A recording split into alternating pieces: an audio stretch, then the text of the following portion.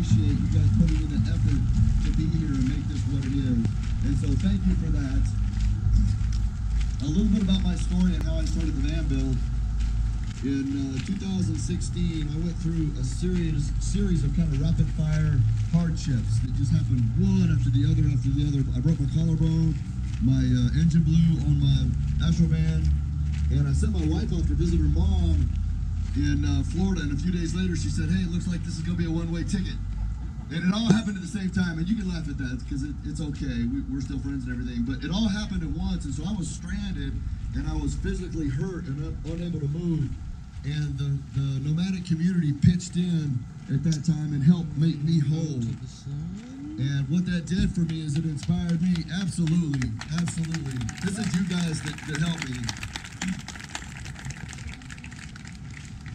And you know that inspired me to try to pay it forward. And I didn't know how. I didn't know what what kind of form that was going to manifest itself. But I started Van Build number one, and we had about 46 people show up and I did most of the work. I had a few people pitch in and help me, but it was just a small little event.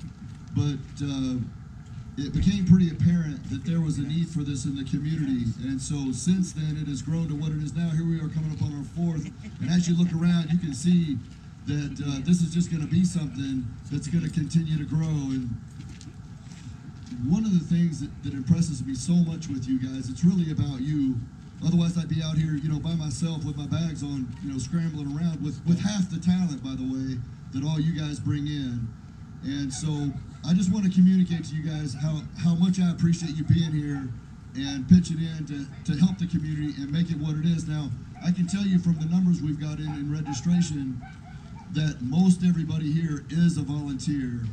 And what does that really say about you guys? I mean, you're willing to help me cover the cost this year and also volunteer your time. And I mean, heck, the cost that you got to come out of pocket on. I know that the fuel and just to get here and the arrangements that you're making to be here and the materials that you're pitching in that we don't even talk about. People don't even know half the stuff you guys are doing because you're just doing it.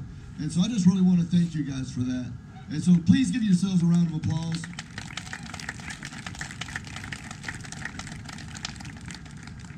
So with that, I just really want to thank everybody for coming to this year's van build and making it what it is. And just know that you're among, I mean, you are and you're among some of the some of the highest quality, highest character people you're ever going to find anywhere that are willing to pitch in your time and talent and sometimes finances to make these things happen. So thank you for coming.